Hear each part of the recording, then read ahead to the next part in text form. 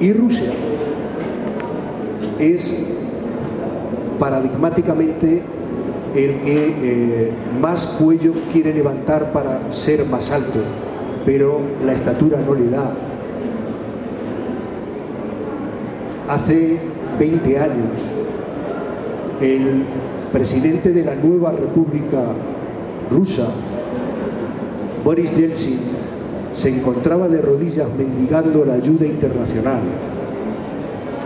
Para poder levantar de las cenizas una economía que había llevado a la que esa era el epigrama final, el sermón, el responso del entierro del imperialismo ruso y en poco tiempo el territorio se iba a desmembrar y como tal la idea imperial rusa desaparecería en muy poco tiempo, de hecho en el espacio de nueve meses, los poderes fácticos que había detrás del presidente Yeltsin montaron la operación Putin y le dieron la vuelta a la situación y la película ya se la conoce. El neoimperialismo ruso hace que no encuentre mejor gasolina para la maquinaria de la nueva república que todo el imaginario imperial del zarismo. Y la madre Rusia, como ellos eh, suelen eh, denominar a su país, es eh, una realidad intemporal que sobrevive a distintos regímenes y da igual que en el Kremlin haya un zar, haya un secretario general del PECUS, o haya un presidente de la República. La madre Rusia permanece. Y además es tan magnánima que tiene los brazos abiertos para recibir a aquellos hijos díscolos que en cierto momento abandonaron el hogar materno. Este neoimperialismo ruso contempla la pérdida de las repúblicas entre el año 90 y 92 como una enajenación del territorio y es legítimo recuperar el territorio nacional. Lo de Crimea o lo que está ocurriendo en el oriente de Ucrania es solo una parte de los planes que hay diseñados para recuperar parte del territorio perdido, sino todo.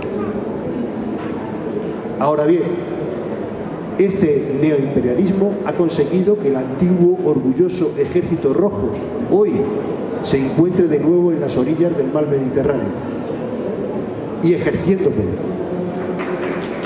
Este neoimperialismo ha recuperado esferas de poder y de influencia a una velocidad que hace 10 y mucho más, 20 años, eran inimaginables.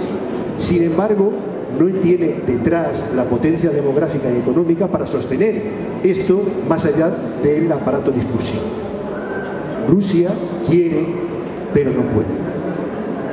Y nos encontramos el tercer elemento, que es China, más allá de alargar el, periodo presidencial, pero esto es un síntoma muy importante de hacia dónde va. China eh, es una, una de las potencias emergentes eh, que ya ha probado su valía y su capacidad y sobre todo tiene nada más y nada menos que 1.350 eh, millones de habitantes que ahora ya son productivos. Hace 50 años no llegaban a esta cantidad, pero ya sobrepasaban los mil millones, eran mil millones de bocas que alimentar cada día. Y esto era un problema. El salto cualitativo dado por China es que ha pasado de tener bocas que comer a manos productivas. Y China, a lo largo de los últimos 25 años, ha tenido la capacidad de traspasar de 15 a 25 millones de habitantes del sector agrario y en economías de pura subsistencia al sector secundario, industrial, incluso directamente al terciario, terciario el, eh, eh, de servicios.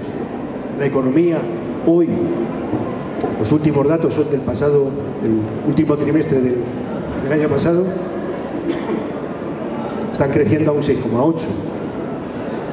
Para hacer un contraste, Alemania está creciendo a un 1,2, Francia a 1,6, España está creciendo a un 2,8 de una forma casi milagrosa, es el país de la OCDE que más crece, pero China está en un 6,8.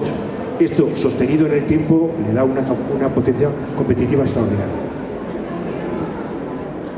Resumidas cuentas, China quiere y China puede. Esto nos dibuja un escenario hacia el que vamos de una forma natural.